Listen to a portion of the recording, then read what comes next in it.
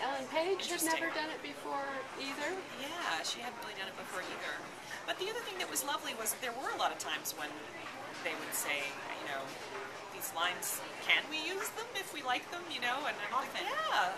So this yeah. is the first time I've seen you. Now, correct me if I'm wrong, but you're uh, the alter ego for, for Lynn Shelton in this movie. A little bit of the, the Catherine Keener, you know, no, Nicole Holofcener relationship, the writer director. You know, uh, so so is this the first time you've actually sort of done the more personal film that has you in it in this way?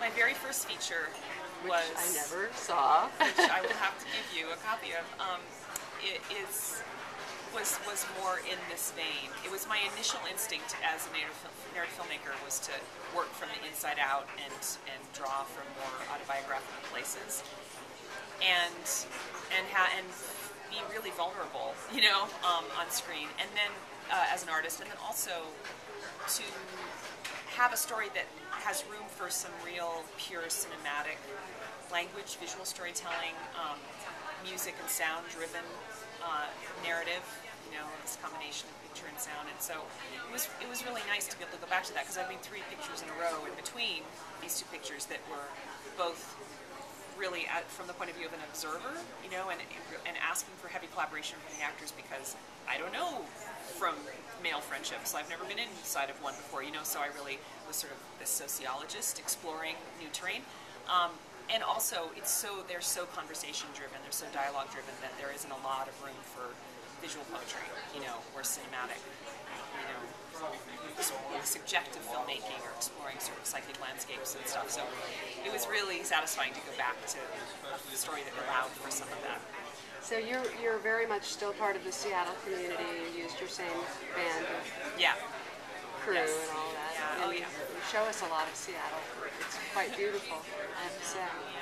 Um, so um, you're, we've talked. This is a, there's a long series of conversations that we've had.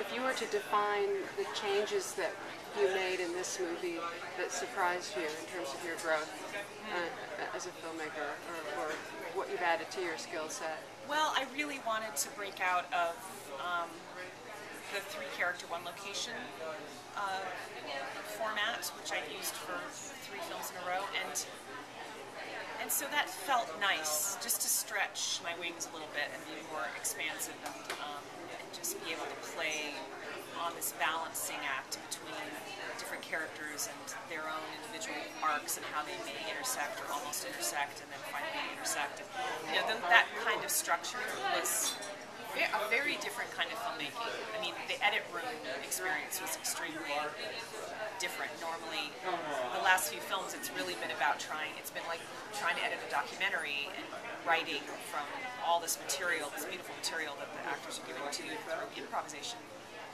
Um, and, and this time, it was really trying to put a puzzle together.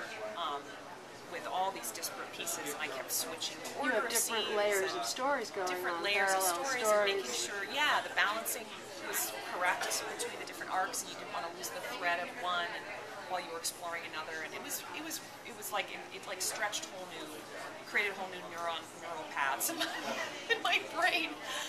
But before we go, um, just uh, both of you, Josh Pais is just extraordinary in this. And I have I've seen him in many things. He's one of those character actors who's always good. But how did you know? I mean, uh, tell me what he's like that, that you that you got this great. For me, it was it was for some reason Year of the Dog. I don't know if you've seen it. If you haven't, you should. I I saw that film and I became immediately obsessed with that actor. I was just I thought he was brilliant. I was like, who is this guy? He's so great. And then I got to meet him um, because I happened to be at, at the screening of Please Give in, in, at Tribeca and, and got to go backstage because the director and I share the same agent and I was back there and there was Josh and I, I could barely speak to him. I was so excited to meet him. He was very gracious, he was very kind and then found out that I had directed Humpday which he'd just seen a week before and he completely flipped out. He was like, you, you, you, directed Humpday?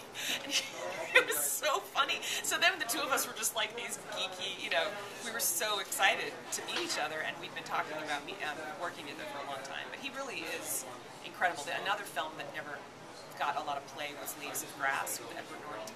And he plays this. Did you see that? No, no. He plays this again a supporting role, and there is a scene I could watch a thousand times, and it's actually similar. I think he's an orthodontist. It was after I'd already written my script, but but it's sort of a similar thing. But he, I mean, then he sort of breaks out and is normal. But I mean, It would be Genius. great Genius. went from being like, oh, that guy, I love that guy, to Josh Pais. Like, Yes. And I hope that this movie I really do. lets people really know who he is. And I hope you two work together again.